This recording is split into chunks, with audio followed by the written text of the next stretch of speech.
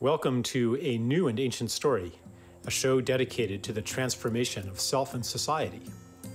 We're moving from the story of separation to a new story of interbeing. We explore it all technology, spirituality, agriculture, healing, economics, politics, ecology, relationships, education, because the changes that are gathering today will leave no aspect of our world untouched. For deeper engagement with these ideas, join our community at newandancientstory.net. Well, hello, everybody. Uh, Charles Eisenstein here with our guest for this episode, Amy Lansky, who I first became aware of through a book that she wrote called Impossible Cure. Uh, I liked the title alone. Slept with it under my pillow for a while. Never read the thing, but no, no, just kidding. Um, uh, I did read um, I don't remember how much of it I read. It was a long, long time ago. I think it was maybe when the book first came out. Um, 2003 came out. 2003, yeah. And, and we'll talk about that book a little bit, but also um, some of what Amy's moved on to. Um, it, it's an example of what I call creeping radicalization, where at first, you know, like you discover that one certain aspect of our system isn't quite right. It's corrupt. But you know, everything else is fine, of course. Uh, it's just this one bad apple in the barrel. So maybe the medical system is a little bit corrupt, but you know, educational system that's fine. You know, and politics, maybe a few little things that need to be fixed. Global economy, but then the uh, radicalism begins to spread until it encompasses everything. And so, looking at your bio, I got the sense that that might have happened. Uh, so, got anything to say for yourself about that? Well, you know, I think that in order to become what I've become, I had to start with a little different than most people to begin with, you know. So I, I, do reflect on that because how did I go uh, from being a computer scientist? So now I can introduce myself. People don't know who I am a little bit. So, you know, I was um, you know, I have a PhD in computer science from Stanford. So that was my life math and computer science and Silicon Valley and, you know, all that. But I think underneath that, I was always kind of a spiritual person. Uh, you know, so I went to a parochial school. I think I was one of the few people actually took it, took the spiritual part seriously. You know, I felt it. It wasn't just, you know, so, uh, so I always had a somewhat of a of a interest in spirituality of some kind, you know? So I had that inclination. And before I even discovered homeopathy through, I guess we'll talk a little bit about that. Uh, um, I was already exploring a little bit about alternative medicine. I didn't really know much. But I was also super into medicine. I don't know. Uh, my husband at back in the my husband, who's also a computer scientist, used to always say, "Why don't you just go to medical school?" Because I would sleep with the Merck manual uh-huh. next to my bed and rereading it. He thinks I'm I, am i am like a medical expert, but I've just accumulated a lot of medical knowledge over the years. And uh, and so uh, yeah, so I don't know if you want me to go on how this all happened. Well, well I'm curious. Um, I mean, what I found really moving was just the whole story. Like, how did you come to write a book called Miracle Cure? Uh, impossible Cure. Impossible yeah. Cure. yeah. Impossible Cure. Yeah. What? What? Yeah. What? I mean, I kind of know the story, but maybe you can share. Okay, so uh, here I was, uh, a researcher in computer science. I had two kids, um, two little boys at the time who were three and six now they're 20, 24 and 27 interest unbelievably uh, but uh, and my younger son was showing signs of what we learned was autism. So this was like at the very beginning of this autism epidemic. And i was like super you know conventional medicine oriented person. You know we would give every vaccination we would do everything. Although i would dabble in you know taking a qigong class or something like that um, i didn't you know i would always i was totally wedded to allopathic medicine but obviously you know something was wrong with him and, and uh, we had gotten to the stage where the nursery school kicked him out and something was just wrong i had an older son so i could see things weren't right. Did this happen like happen all of a sudden, or do you think he was kind of born with it? No, no, no. He was fine until, um, well, you know, I have a lot of re- in retrospect. I look back Mhm. at videos and stuff. I think he started going downhill. I actually think it was vaccination induced, but it was a slow, gradual decline. So he was progressing normally, and then at around, I would say, before age two, he just started drifting away. So Mm. it wasn't one of. I mean, I'm sort of a because it was an autism story. I'm now sort of I'm, I'm I'm not as much in that world anymore, but I was became very embedded. And some of these kids, it's just very stark and they it's very extreme. In his case, it was like a slow uh, drifting away into his own world, right? So he was like happy at home, but he was just not making.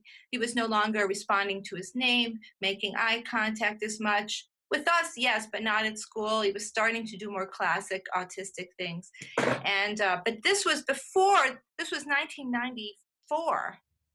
So th- this he was born in 1991. So it it was before everybody was tuned into this. You know, it was right at the beginning. Actually, that was the year it, it really increased, um, and um, his birth cohort was when it really started going up.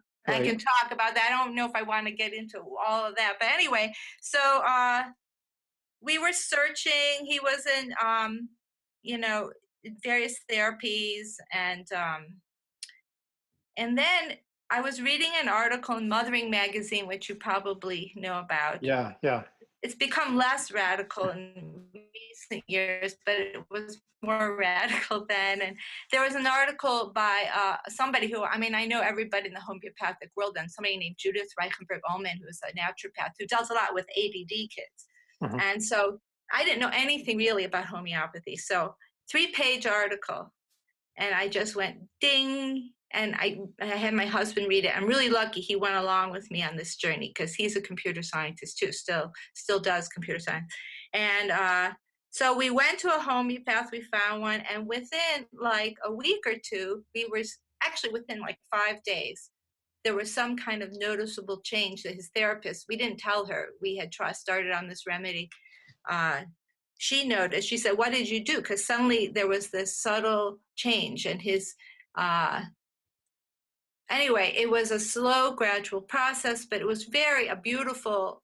I know now, uh, like a very ideal kind of beautiful cure, and uh, so um, and within by the time he was five, we started at three and a half. By the time he was five, he was testing normally, but he was still like I would say socially immature. And you know, if you really could notice things, you might notice some oddities. And uh, we, by the time he was in first grade, we put him back into this whole private school that my other son was in, and he was doing fine. But every year, the teacher would go, you know, we just don't get it. He's just not. There's things that were just off. But that, even that, with changes of remedies and stuff, stopped by the time he was like in fourth grade. So Mhm. I would say, you know, we got 80% there, you know, in the first couple years. And then by the time he was like 10, he would be fine. Like, so, um, anyway, so obviously this was mind blowing to me. You know, it was just, and to my husband, and then we all started using homeopathy. So, you know, it, it's just, it's like, it doesn't, it's, if this works, you know, if this highly potentized, you know, not even a molecule of substance thing has dramatic changes like that, then, like you say, the world isn't what we thought it was.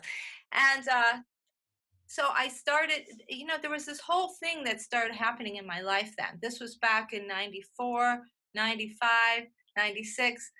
Um, I started you know doing other kind of energy explorations you know i remember i went to a workshop by uh barbara brennan you know Uh-huh. Yes, yes. And uh and then i also wrote a paper i i mean this is this is, sounds so nerdy what So I'm just, I just want to break Yeah. in here because yeah um, yeah I, I, while you were talking, I just, you know, um, tuned into um, an article on quackwatch.com.org called Homeopathy, the Ultimate Fake. Um, so how do we know that you're not just hysterical anti-vaxxer parent who, um, who you know, uh, uh, you know, panicked and imagined your child was having symptoms of autism, and then went through this, you know, essentially uh, sugar pill regimen, and um, you know, imagine that there was a cure when actually it was just your hysteria to begin with. Like, there's this whole narrative that yeah. Um, uh, well, okay. I mean, yeah. I, I, mean that's totally fair. You know. Yeah. I mean, I don't uh, actually believe that, but I like to uh, to bring the shadow side out here. Yeah, so, yeah. Can, so people don't think that it's, this is. A, let me just finish. Like, like people don't think that that we've just kind of hitched our wagons to the latest craze and abandoned our critical reason, but that we've actually faced that, um, considered that possibility, and having done that, still believe in yeah. the efficacy of, I mean, homeopathy is just the beginning of the rabbit hole, right? Yeah, yes, it is. Yeah. And, um, well, there's so many things I could say to that. Um, I mean, I guess the fact that I have a PhD from Stanford is helpful to some people and believing me. right. But um, I, I, think that um, well, the, I mean, one thing I learned when I started learning about homeopathy, obviously I start reading about it, is that it really has this venerable, very scientific history, and that the people who do it are not weirdos or things like that. They've been, you know, there's a huge history, and there still is all over the world of, of medical doctors and all over all over the world using homeopathy successfully okay? And so uh and that's one of the reasons i wrote my book you know my book impossible cure. Yeah i wrote i titled it that because people say it's impossible and because also the cure of autism or these other diseases is impossible. But anyway um so there and so i do include in my book all these scientific studies. There's tons of medical studies clinical um, even lab studies you know on right which uh, is interesting like it's interesting that that you know you can enter that world um, i also looked up homeopathy on the skeptics dictionary yeah it says in black and white right there on the screen that the overwhelming majority of studies on homeopathy confirm that it is no more effective than placebo. Which so, is false. Unfortunately, that's just right. false.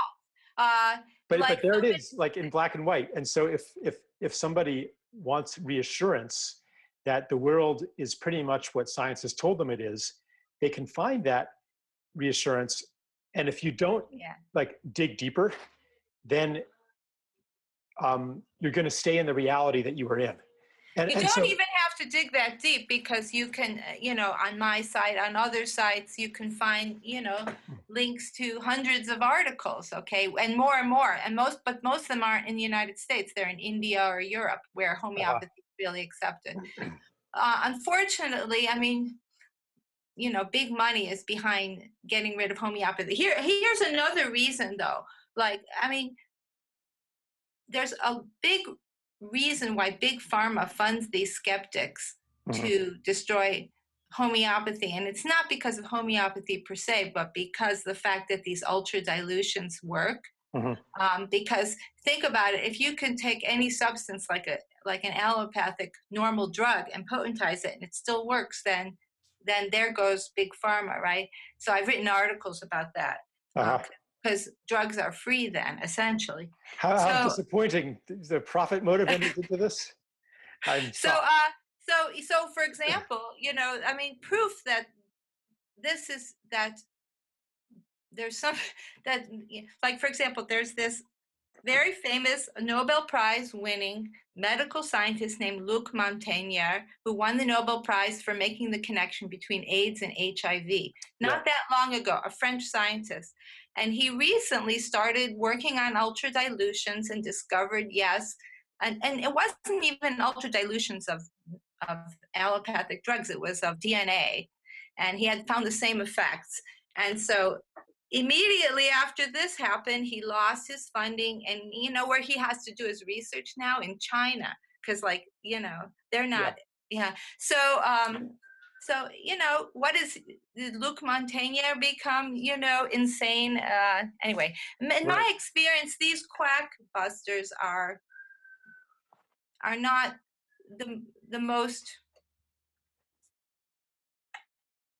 intelligent people often and have an axe to grind or their or, or, or whatever yeah. it's it's just another form of of negativity and stuff i, I don't know yeah.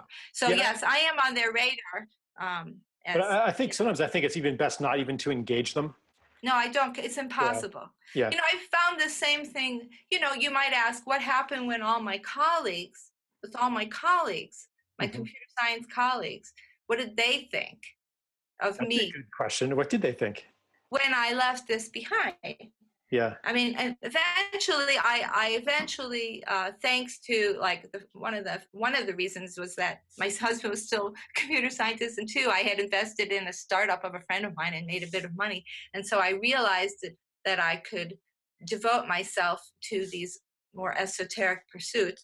Um, that what did they think? They they couldn't believe it because I really was one of the I was getting kind of famous in computer science, and I was one of the few women. Mm-hmm. And mm-hmm. you know, I felt bad leaving it behind, but it just seemed so meaningless to me compared to to what happened to my son, to helping other people. And now, I mean, really, my mission is to is this more about consciousness. That's my second book. Uh, to you know like what you're trying to do help the world to change and evolve our consciousness um, so um, yeah. So yeah. Anyway, yeah. so what did they think? What did these colleagues think? Some of them, okay, my friends, if they they completely couldn't get it, know not to discuss it with me, right? So there are some of my friends who oh, just Amy, I, go I there. Lost it's that, just I, I, lost that last sentence. It didn't come through very clearly. Can you? Okay. Some There's some. Friends? some of my co- friends who can't go there, they just know not to discuss it with me. So we'll discuss other subjects. Some uh, but the, some of them who know me and respect me have started to use homeopathy and it mm-hmm. works for them. It's it's worked. I i sometimes get these kind of surreptitious emails from computer scientists. Oh you know my you know my kid blah blah blah can you help me? I heard you help this other computer scientist. Right. so like those things happen too. I um and then um and, and, and I have found, interestingly, that the most brilliant, the people who I view as true geniuses in my field, are the ones who actually listen and are respectful and actually give me credence. Mm. So that's, I think, very interesting because they are. I'm not talking about just smart guys, and I know a lot of smart people from Stanford, but there are some who are like the real geniuses. Mm-hmm. There's not many of them they're the ones who are actually you know actually pay attention mm-hmm. and actually start reading about it and start thinking about it so it's interesting um anyway i, I don't know if you want to keep going along that track but well um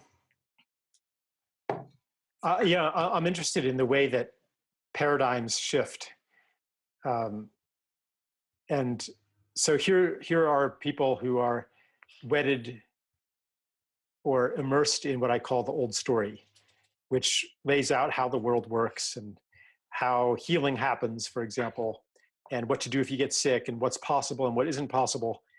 And and that world also maybe is divided into from that perspective there are the rational up-to-date people who um, you know follow the latest medical advice and then there are the kind of fringe people, the hippies, the irrational people, the superstitious people, right? And so in that world, you, the PhD computer scientist, would surely be among the rational modern people. So when you then come in and say, hey, guess what? I've uh, cured my child of autism using homeopathy, that is an anomalous data point that doesn't fit into the paradigm. So when people are confronted with that, they have a choice either they can maintain their paradigm, which necessitates um, explaining away your story. For example, Amy's gone off her rocker. Um, she's brilliant at computer science, but outside of that, she's a bit batty um, or something, right? They have they have to fit you in somehow to their paradigm, or just to ignore it. Say, you know, I'm just not going to think about it like that happens to people all the time. They have some maybe even transcendent experience. They see a ufo uh, you know something happens but they just kind of put that into the category of not going to think about that. Going to go on with my life. So that's how that's one choice you know they can maintain their paradigm. The other choice is to allow their world to be blown open to right. take it seriously and then because if that's true then what's true? And then if that's true then what's true like the whole thing unravels potentially just from one data point you know you have i mean it's just like in science if you have a theory and, and a data point that doesn't fit into that theory you can either discard the data point which is very often what scientists do or you can you know come up with a different hypothesis that can incorporate that new data point. and perhaps the you're saying that it's the genius people who are most open to it perhaps that's maybe the essence of genius uh, is that you are open to something from beyond what you already knew. Otherwise you're not a genius. Otherwise you're just kind of elaborating something that already exists but and that's what most of sci- most science and most scientists are just like I call it. There's a, a phrase in computer science called the closed world assumption. So uh-huh. they have you have all the stuff that works within that closed system, and they're just you know finding every ramification within that closed system. And right. it's the real geniuses who are open up and uh, uh, you know admit new information. That's how those scientific revolutions happen. Right. So um, yeah. So, so it's not know, surprising to me. It's not surprising that that you know some of the most open-minded ones are the ones you know who who bring in the new in their field are also open-minded to you know allowing their paradigms to be disrupted and entering the world that you're inviting them into through your story. Yeah it's so interesting because you know in, in my journey from homeopathy and then consciousness all the stuff i've i've just you know it, it is you know i write a lot about synchronicity and homeopathy is I, and about the relationship between homeopathy and synchronicity and all this stuff. Anyway, I've met Rupert Sheldrake. I mean, I know all these people, Dean Radin. Um, in fact, my husband ended up doing some of the programming work for Dean Radin's exper- experiments uh-huh. at one point. And uh, I mean, I know all these people now, and it's um, the same people are attacking them as attack homeopathy. It's the same forces because they just can't you know it just can't be admitted. These these anomalies can't simply can't be admitted if you're going to keep that mind frame going. And it's the same now with with medicine too. Yeah. And so i don't know what the answer to that is exactly except you know you have to just stay true to, to what you know. I mean you know if something dramatic happens actually often it is something to, that's one thing i love about homeopathy. It's because a lot of these phenomena are very subtle or you can say it's coincidence or you know even psi phenomena are very subtle it doesn't happen all the time. Uh, you can say every synchronicity is a coincidence. Yeah. but if you if you um, if you have you know if you've been sick for six for six weeks, or if, you, or if you give an animal who's super sick and you give them a dose of something and then suddenly they get better, it is not even you. Like, can't even say placebo effect. Some animal, you know, your dog. Right. Um, then it's dramatic. It's like, right. hey, it works. It's like, how can this be? Right. So, um, and you um, can still, I mean, you can still chalk it up to coincidence or something like that. But you, but if you do that, like what I want people to understand is if you do that, you're making a choice based on something that's not evidence. You know, you're making, if you choose to say, well, that was just coincidence, yeah, that's one interpretation. Another interpretation is that homeopathy works. And the evidence alone cannot actually um, uh, compel you to make one of those two choices. Yeah. It's yeah. a choice. And I think this is actually to me you know i don't think i've left science uh, my scientific rational mind behind i mean in fact to be a good homeopath you have to be very analytical and stuff it's yeah. a very analytical science but i think that what i did and what i do in all my writing is now expand what my view of reality is so it's not like i've left you know there is a physical reality which operate more or less according to the physical laws that we know. But there's, I believe, there's this now expanded reality more than that, and that's kind of what my second book's about. Yeah, uh, and Although and even complicating complicating that issue is that um, physical is much much more than we thought it was you know and and this kind of division Yes. between physical and spiritual or physical and non-physical is making less and less sense when especially with with especially with homeopathy when some of the water science now is confirming that the physical structure of water it's not just this kind of ideal fluid you know with generic particles yeah swimming around randomly, but it but it, it can hold structure that can carry information. Well, is that fear? Is that physical? You know, or is that Right, right. Yeah. But you know, I think that it's a, it's all of that because, like, think about what Rupert Sheldrake says. Yes, you have a brain, you know, and there's stuff going on in the brain. I'm sure your brain is doing a lot of the work of our, you know, of our day-to-day uh, consciousness.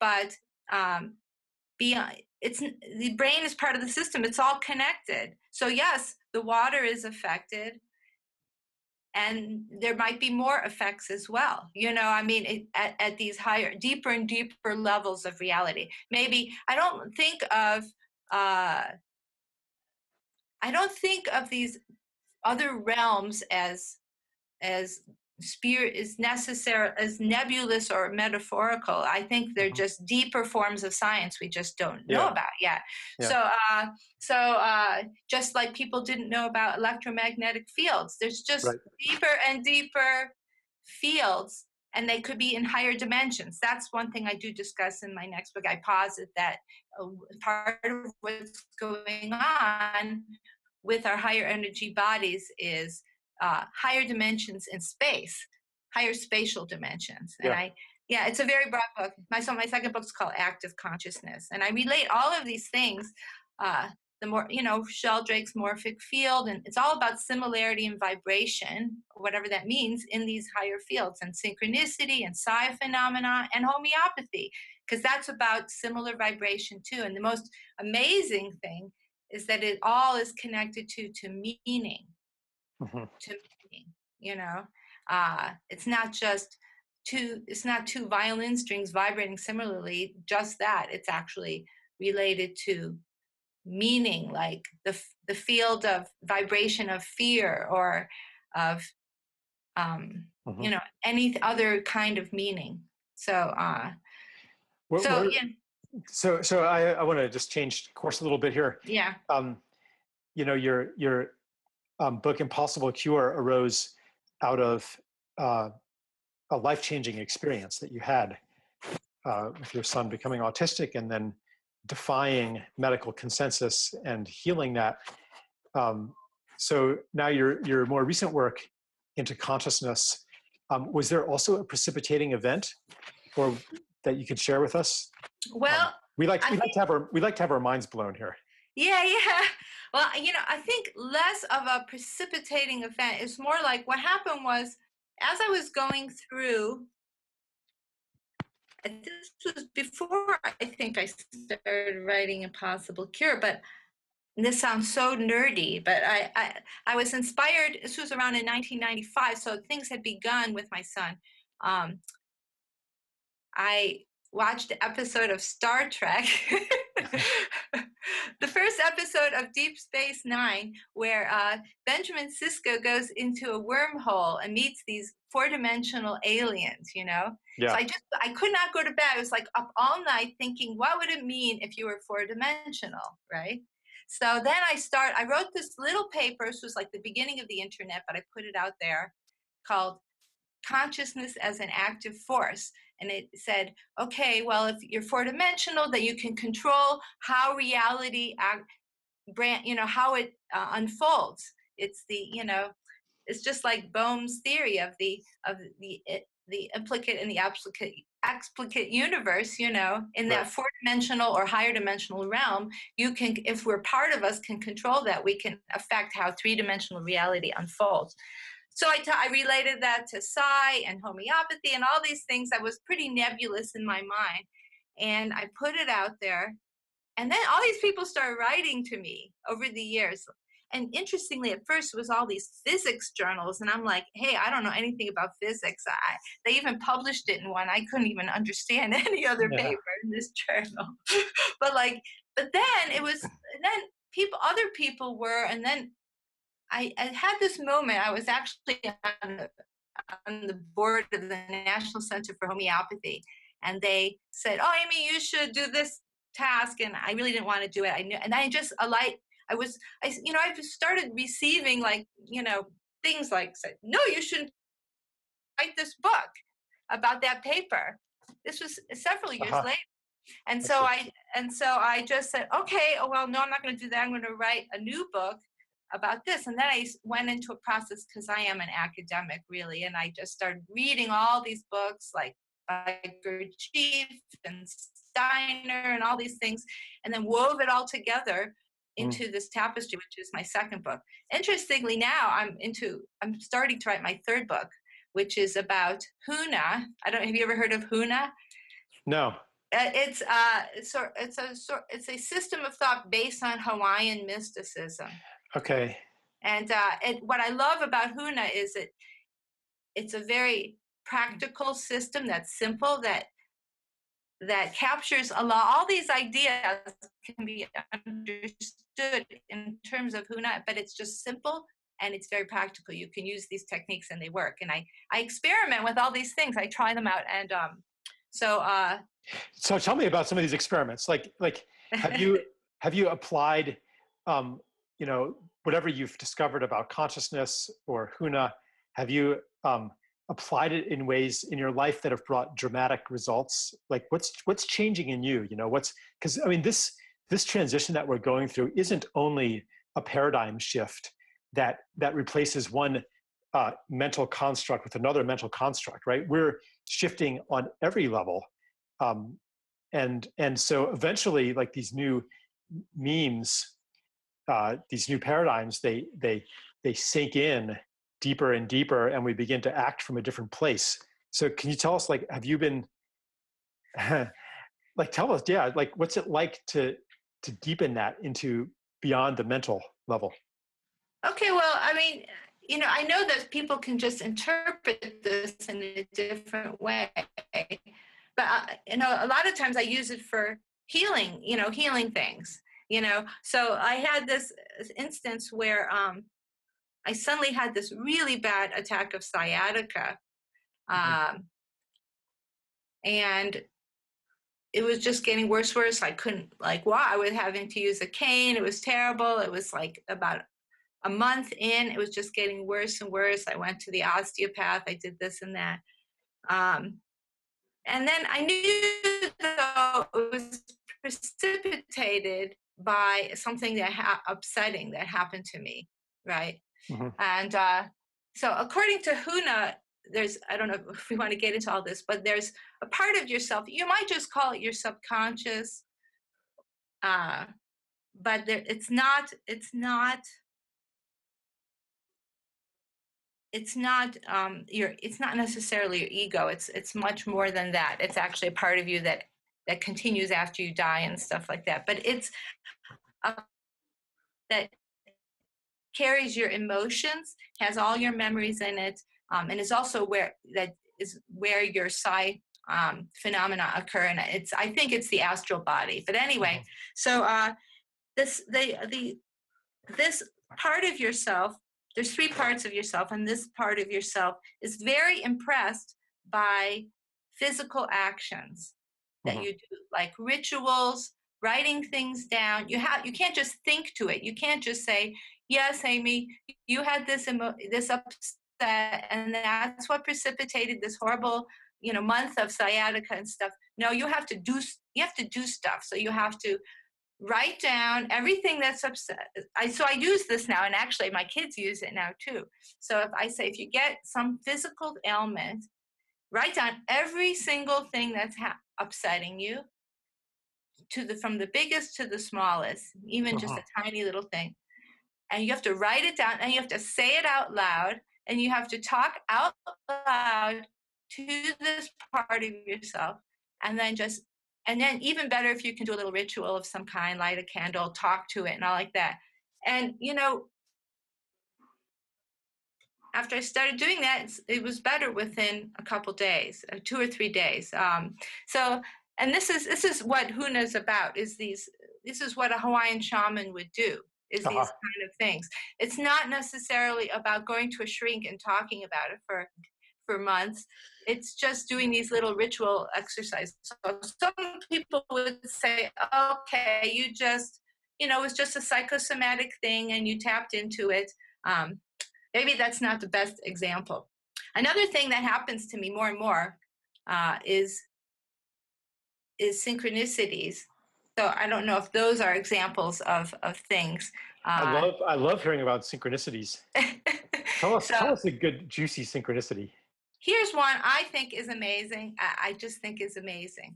Yeah. Uh, so a couple of years ago, my husband and I drove cross country to Canada, and it, for three weeks. Okay, and because we have a place in Canada, and uh, and we listened to the iPod for three weeks. With he has like ten thousand songs on this iPod. You know, it has huge memory and stuff. And so then we spend the whole summer. We're coming back. We're driving into Buffalo because that's where I'm from, and we're at, we're nearing the bridge where we cross over into the United States. And just as and I was really looking forward to coming back that year because we had driven cross country and it was like I felt very love of America after driving cross country.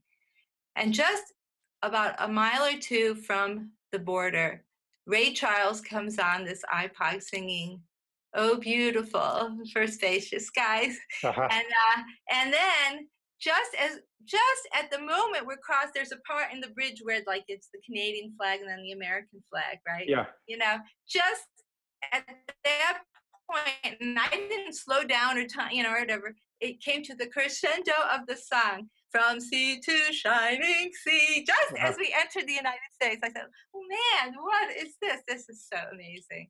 Um, there's another uh-huh. one I write about uh, somewhere. I guess I've written about it, which is that uh, I was editing the chapter about Rupert Sheldrake uh-huh. in my second book, and the next that night, Steve comes home. My husband Steve comes home from work and says, "We're having Sheldrake." Uh, Amy, I couldn't. I had never met him.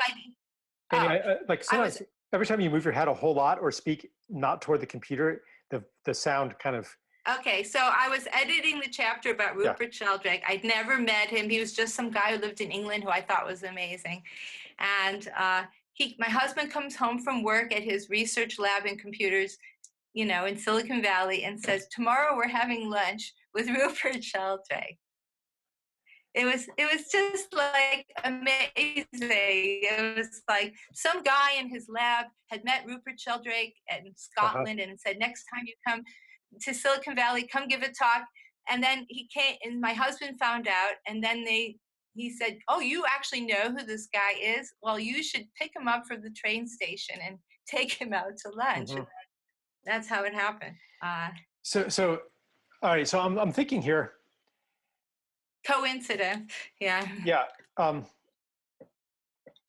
one one idea that i explore i mean i'm, I'm actually um, very interested in ritual in a in a in the broadest possible sense of the word um, and interested in reframing a lot of the things that we do in our in in modern life um, in terms of ritual so medicine, for example, is a whole series of rituals. Technology, um, uh, even computers, you know, you're manipulating symbols, and and in this arcane language, and reality changes as a result. Like like uh, uh, an extraterrestrial coming down and looking at uh, a room full of computer programmers, like there they are wiggling their fingers around on the magic keyboard. You know, like that that seems like ritual too. And this thing with the huna that you're talking about, that the um, is there a name for this part? I remember like there's the ku and like these things. Okay, well the the three parts I'll give you the Hawaiian names. Yeah. Um, our unihipili is the lower self, or Mike I usually call it the basic self. Yeah. And then there's the middle self, which is uhane, which is the sort of rational mind. It's the rational thinking. I think it's uh-huh. the mental body. but it interestingly in Huna, that part of you has no all the memories are stored in the lower self, not Okay. the the middle self uh, is sort of like the controller, but it is it's just sort of rationality. It's just the thinking, Uh-huh. you know. Um, and then the higher self is called the Aumakua. You might have heard of that. Right. Each of, each of those parts of you is also associated with, like you say, certain Hawaiian deities, like um, So, so the part and that you were talking about, though, that pays attention to physical things, what, which one was that? that's the lower self. Okay. and uh, the basic self and and usually it uh, you can think of it as often it's, it has as a sort of a uh, an awareness that's more like a young uh, a youngish child or a, a, teenager and it, um, so it's usually cooperating and it's also in charge of your body Mhm. it's the most connected to your etheric body and your physical body so uh so Okay. the energy body All right. So they're all basic self. connected Uh, yeah Okay. So this basic self, um, it's impressed by actual physical actions. So perhaps when, and, and it's also an incredibly powerful aspect of self. yes And I'm suspecting that not only does it um, influence the, the physical body, but it probably also arranges life events uh, to give us an experience of reality that matches our um, state of being. So I'm just kind of guessing here, but the reason I'm mentioning that is is to flesh out the idea that that the things that we do to affect our reality, say, you know, um, we uh, write a check and we buy a car, or you know, something like that, or we, you know, log on to Amazon and we, you know, click something and the shopping cart and all that, right? Those are physical actions, and we explain that the package then comes to our door the next day through a causal chain um, that involves, you know, payment systems and warehouses and people getting paid to move things right? We have a story why that thing shows up at our door. But another way to look at it is that we have um, done the ritual that impresses that basic self uh, such that it Yeah. arranges reality for this package to show up at our door. And and that physical action has to feel um, for it to be compelling um, we can't do it thinking this is nonsense. Um, this is an empty ritual right? It has to actually right, so you know i'm i'm i'm just one thing i had in mind thinking about this is okay you know if we can if you can because you're becoming immersed in this way of thinking. And so your practice of writing these things down and and doing that little ritual you know it's it's working for you. And i wonder um you know it's not only the physical body that might be sick but the social body the ecological body the political body. Um, there are terrible dysfunctions on this planet right now. And how would we use this let's call it technology um, how would we use this to impress upon the collective basic self or the planetary basic self that things need to change and we're ready for them to change? And perhaps even like when people go out and protest or they do direct actions or they're doing something physical and not just collectivism but they're actually uh, doing something physical maybe that even if the immediate result is not apparent that they've you know maybe it's not apparent that they've achieved anything. Maybe all they achieved was they got arrested or something like that um, and the system isn't changing. But maybe by repeating those things we are communicating with a deeper self that has the power like it's kind of a prayer Right, right, right. Okay, so Yeah. let me. I can. I want to talk about two things because I'm so interested in this now.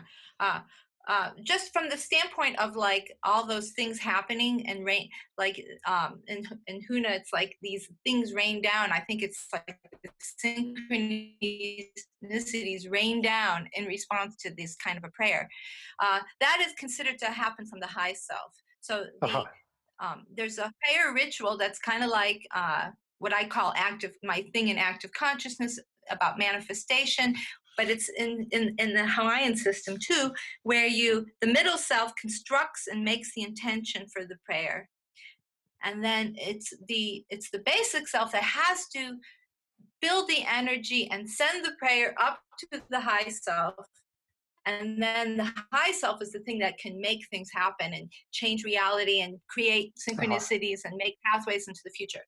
But now, in response to what you say, I, I am writing in my book, going to write about our collective basic self and the that idea. So there's a process in Huna called Ho'oponopono. Yeah, that, that one's that one's really yeah, you've heard of that? process. Oh yeah, yeah. Yeah, yeah, yeah. So that's how you deal with like family dysfunction. Mm-hmm. So uh and it's not like going to a fa- it's not like going to the uh, the family therapist and for days and months and working out your bullshit you know it's like a simple ritualized procedure where each person you know says you know i you know there's it's it can all happen in a few hours although everybody has to come and the idea is that the base it's being worked out amongst the basic selves of the of the family mm-hmm. um, and so something actually happens and certain things are said and heard and then certain rituals are performed and then and the reason why these things are usually done is that one of the family members has become very sick uh, mm-hmm. or there's some drug addiction or something you know precipitates it and they understand the collective uh, basic self of the family unit is screwed up and they need to do this to heal everybody because there's some something bad in the juju of the family you know mm-hmm, mm-hmm. so same thing on the global level yeah what would those rituals be I mean, what could we do in the Middle East uh, that would be simple rituals of the basic selves of these countries, of these people, you know? But the part of the problem is that everybody has to agree to be there and do it, uh, um, and have sincerity in the process too. Yeah. So. Uh, do you want to, uh, summarize the four steps of the Ho'oponopono? Oh, the no, the four the the four steps of hope i don't know i can't remember what those oh, exact okay. steps are but i can i can send them to you but i have these four steps in my book of active consciousness which was sort of a manifestation technique it's different it's a it's a prayer ritual i think that, i think, I think the ho'oponopono ritual it's like uh, you have to say i'm sorry forgive me thank yeah. you i love you right yeah it's it's something like that yeah uh, I have I have it written down, but I'll be writing about it in my book. Right. It, it's not so it's not the same thing as as the prayer ritual, which is uh-huh. called the Ha ritual. It's it's a different process. Um. Yeah. Yeah. So yes, I think it's really important. How can we do it? I, I want to know. so, yeah. Uh, I mean, on a global level. But I think these, if it works on a personal level, if it works on a family unit, if maybe we just need to build it up, it could work on a in a city level, a, a national level. Maybe it could work in a global level. And and what I'm interested in also is like kind of mapping existing practices onto some of these ancient teachings and and and vice versa you know like maybe um, if you really analyze some of these uh, you know, some of these kind of maybe nonviolent communication retreats where people from different sides are brought together and they're put into dialogue and they're um, um, put in a situation where they can see each other's humanity and hear each other's stories and yes yes kind of, like of maybe, course yeah. but the thing that's really cool about it and i don't know if it's really would work but i i just feel it it might is that you don't have to get if there's sincerity if there's some kind of active thing maybe that's enough to set a process in motion it doesn't mm-hmm. have to be um, it, there has to be a sincere awareness that everybody is part of this more global issue Mm-hmm. You know, I, I was actually in a Jewish Palestinian dialogue group for a few years. And, and so, um, and what can be a troublesome thing in that is that people come to it with an agenda, you know, right. they're not, uh, so, um, so it's not really, it's, it's, it, both sides, whatever, has to be saying, we are together and we're all part of this. It can't be you did this and you got to fix this and and stuff right. like that. Although you can express that, that's part of the ritual, you know. But they have to be open to something beyond what they already think they know. Right, beyond the story that they're carrying into it. The story which could be it's your fault, you did yeah. this, you did that. Yes. And, you know, we were justified and you weren't and and and yeah. like if you already if you're not willing to move beyond that and instead your goal is to defeat the enemy and to you know demolish their story and replace it with yours and get them to admit that they were wrong and you were right like that agenda doesn't leave room for anything but more of the same right right nothing else can get in nothing can fit because it's already got the entire conceptual universe colonized right it's, it's the same the same mentality as you know the kind of dominant scientific paradigms. They've got the whole universe colonized already. Yeah, I guess in in in, in I guess in the Hawaiian culture they kind of you have they bought into this idea already that there is a collective conscience of the a collective consciousness of the family mm-hmm. and that they actually are affecting each other mm-hmm. is um, that this family member is sick because of this dysfunction amongst you know? And it's not your fault or their fault or that you know?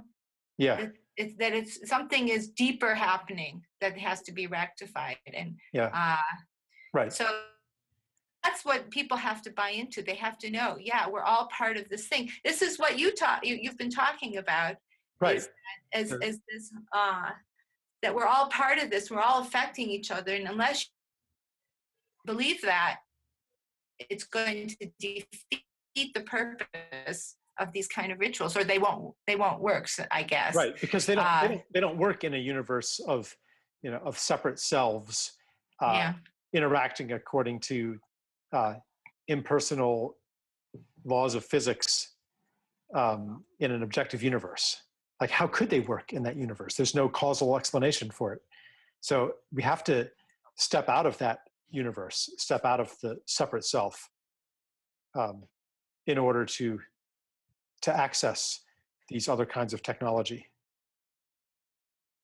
Yeah. yeah. I got one of those little messages says is unstable. I don't know. yeah, I know.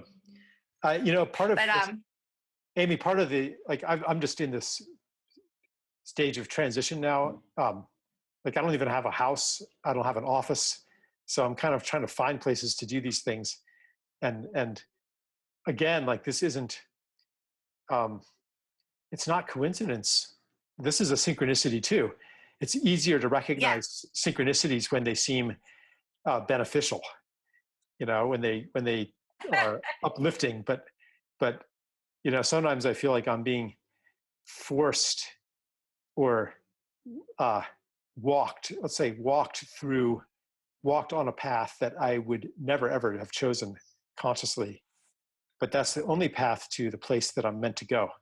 So i'm i'm kind of like dragging my feet on this path that right now you know includes a lot of instability and uncertainty and um you know i think like i'm so i'm kind of new at these podcasts too and i want to do things like the interview format is a bit um i mean it can work sometimes but I want to really um, not always conform to that, you know. And I mean, I know what it's like to be an interviewee as well. I've done a lot of that. Yeah, yeah. So, like, I have too. What would you? This is more you, like a conversation. Yeah. But I was um, thinking, like, what would you say to me if we weren't being recorded right now and you're just talking to Charles? What would? What well, would I'm, I'm actually saying what I would say to you. Oh, okay. So I want to ask you a question. Something yeah, I've been cool. wrestling with. Uh, it's just I've been going through a change just the past few months where I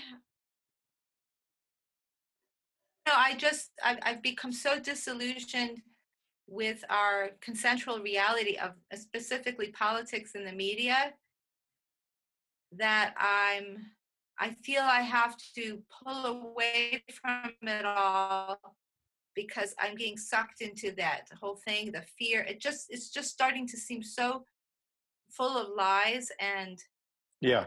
Um I used to I would always vote, I must engage, I must be a good citizen, I you know, I, I must change, you know, change the world. Right. And now I'm feeling like I'm it's starting to seem like a big fraud to me it's all it's all very fraudulent to me Yeah. and so uh so I, I i feel a little bad but i like i stopped getting the newspaper Right. um because i i just can't it's just it's just permeating my being because i believe that my consciousness will affect my reality right? I don't want to start my day reading that. And now i've come to know because of various things that that they were writing about that i personally know about are false uh, and uh, Yeah. So I I'm, think this I'm, is I'm really wrestling with that. I, I think this is a, a very healthy response. You, the, to not want to participate anymore, to not want to vote, to not want to read the newspaper, because your full i won't vote but your full participation in that kind of legitimizes and, and validates it, uh, and and says that, and it, it kind of yeah le- legitimizes the story that says here is what an active citizen should do to help contribute to a better world. Like it's offering you um, a set of procedures, a recipe, a, a frame within which to do that. But if that whole frame is a delusion, then why would you participate in it? And I think what's happening to you, this kind of disillusionment, is really spreading. Um, the the and, and in a way, like the increasing absurdity of the political culture is a, is a good sign. It's a sign that the um, that the game is almost up. Yes It's, it's it's kind of spinning off into this absurd realm where where candidates are saying things that no that almost nobody actually believes.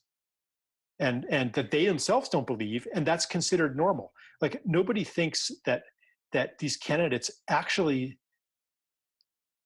wholeheartedly believe in what they're saying. It's that they're like and, and when they do say something it's not analyzed for its content. It's analyzed for what it signals and what posture the politician is assuming and what is the messaging you know it's not even taken on face value. Like the communication is breaking down and it's becoming this this farce. I mean this is not you know any deep insight i'm having here.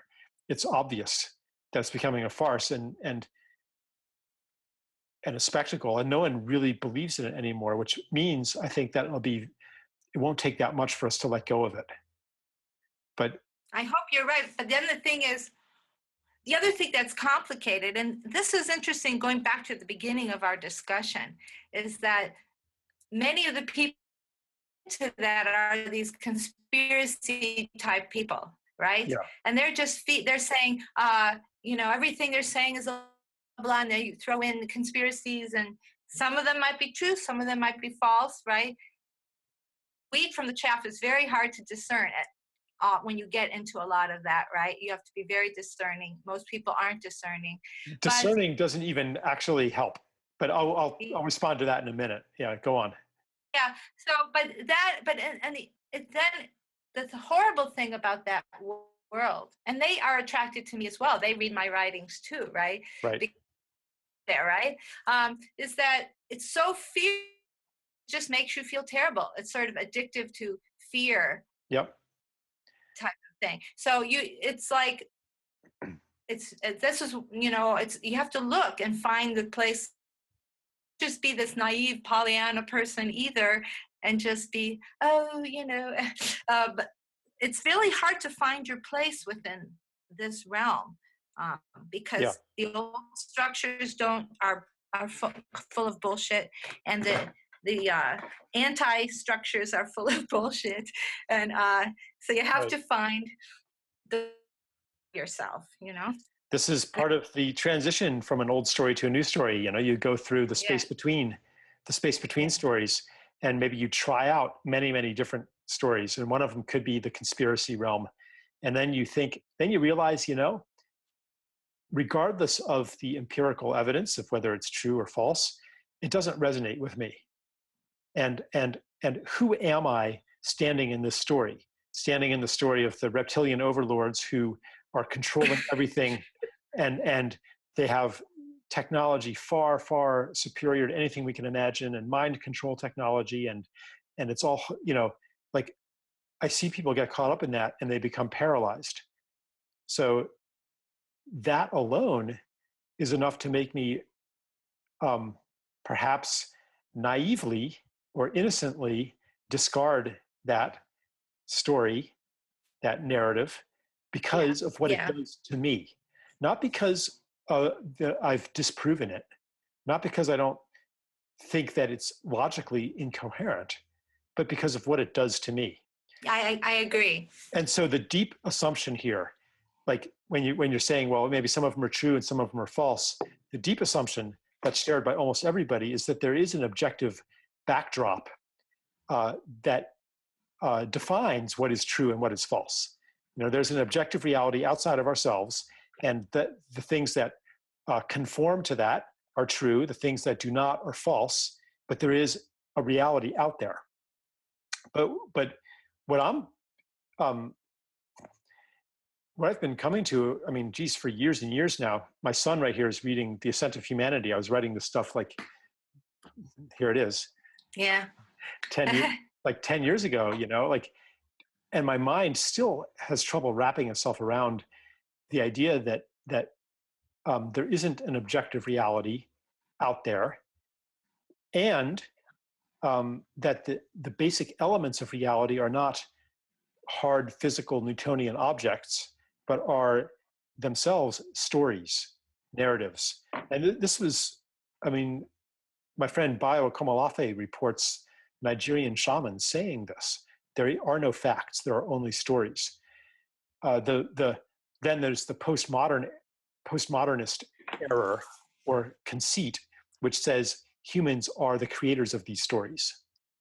But we can let go of that too and say, well, the stories maybe have their own consciousness. And It's kind of like um,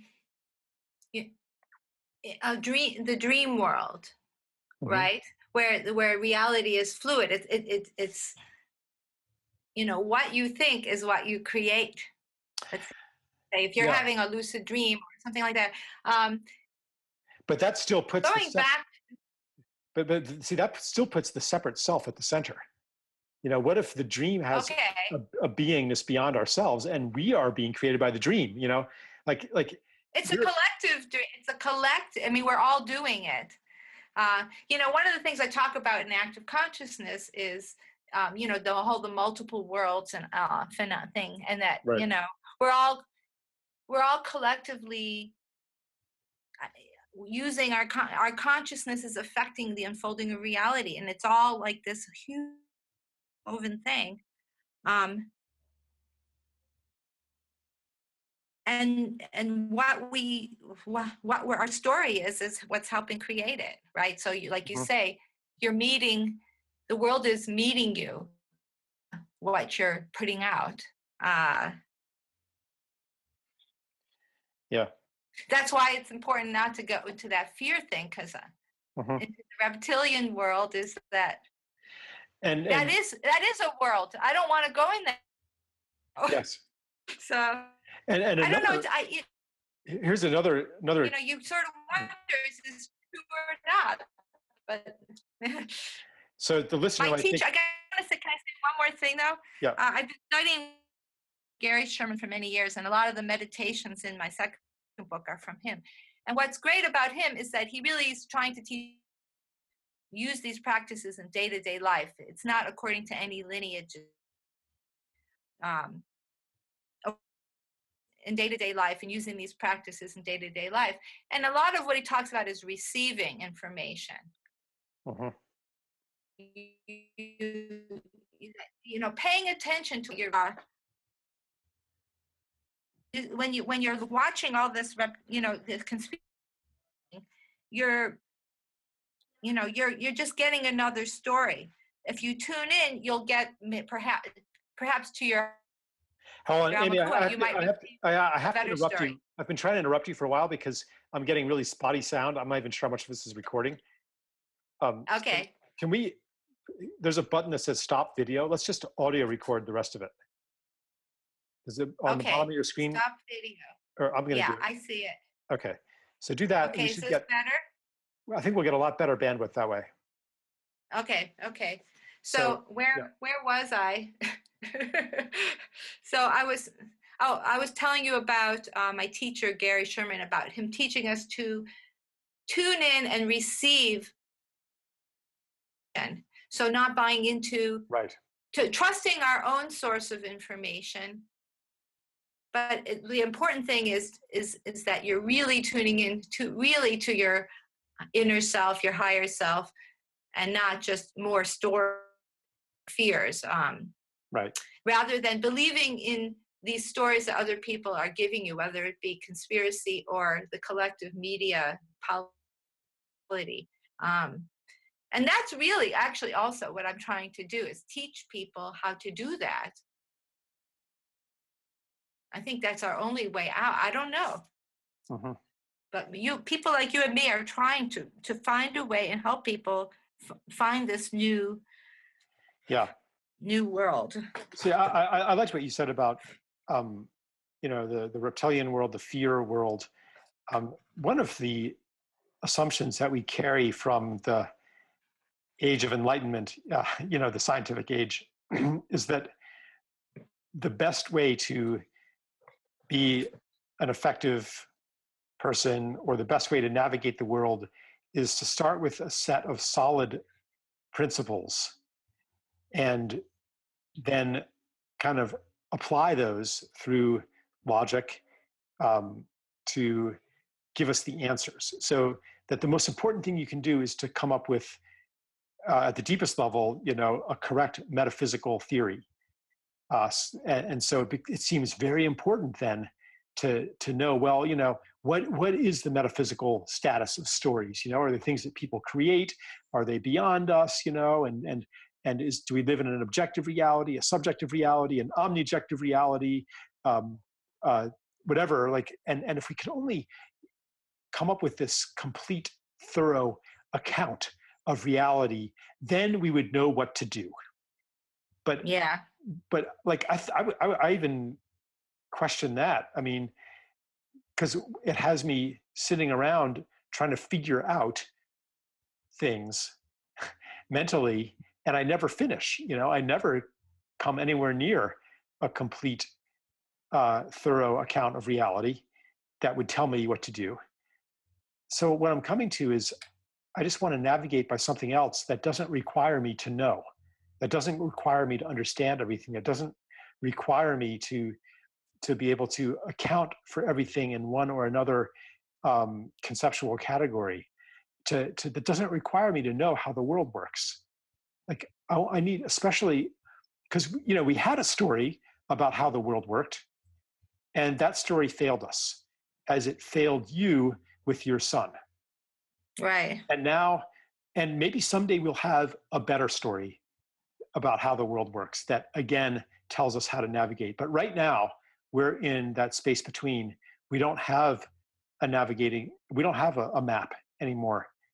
And absent a map, well, what's the compass? You know, how do we how do we navigate? Um, and and for me, it comes it does come back a lot to to you know how does it feel to be in that story um, or even when no story works. I mean, I've had situations come up in my life where I don't like any of the stories I can tell myself about it. Well, then what do I do?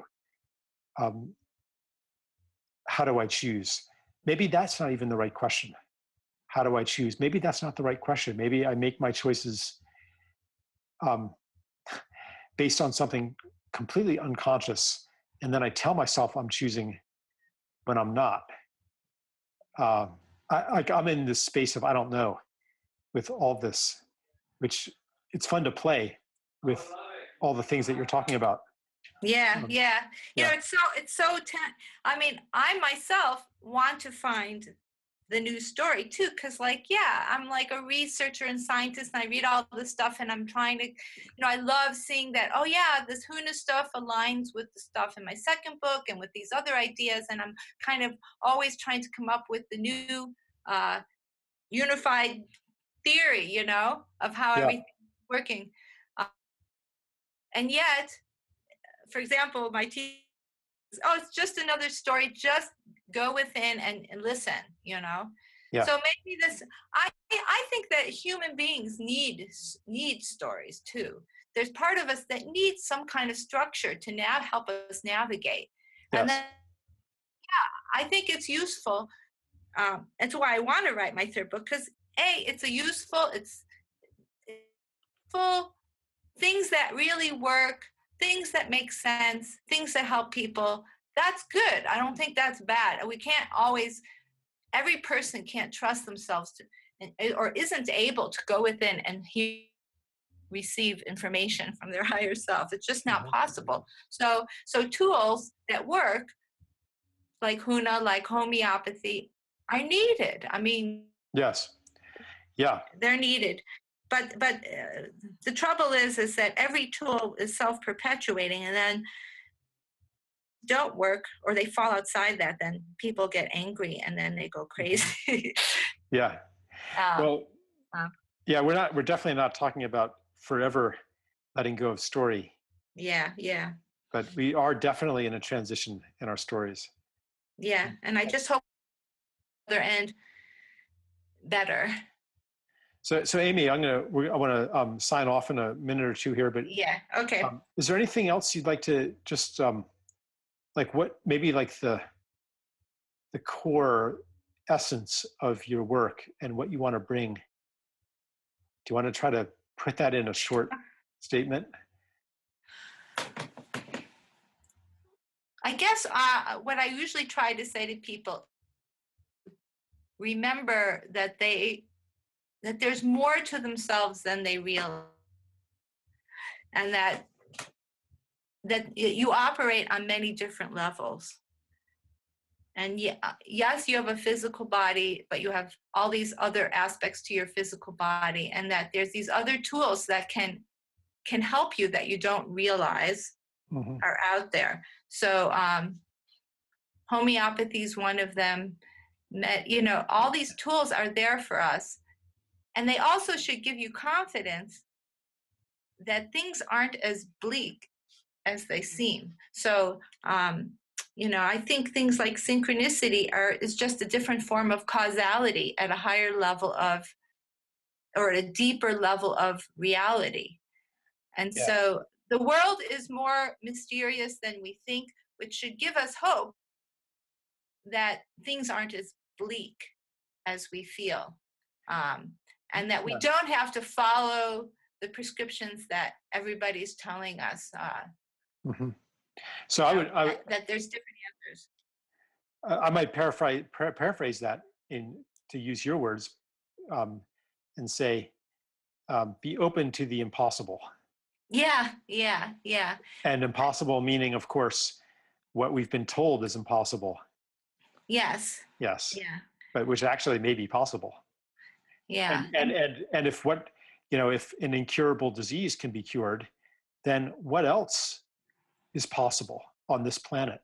What else is what other Yes. situations do we face ecologically, politically that seem incurable and that seem hopeless, but that when we shift our paradigm, actually can be healed? perfect. That's great. Mm. That's right. And you know, I as as in, in my life work, what I see happening is that somehow I'm like a connector. I'm able to like look at lots of different things and and understand the relation and then explain them to people in kind of simple in a simple way.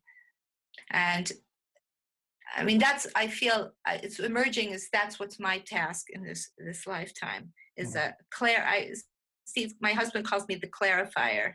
Uh-huh. So um, um, I'm not there to be a deep scientific area. I'm there to sort of see all the connections and and sort of explain it to people and try to help people. You know, um, so Yeah. anyway, that's who Well, I you. am. Thank, thank you, Yeah. Amy. And for those people who uh, might have missed the beginning, I've been talking to Amy Lansky, um, uh, who I who wrote the book Impossible Cure. And what's the title of the next one? the second one's called Active Consciousness. Active Consciousness. That's right. Yes. And you can.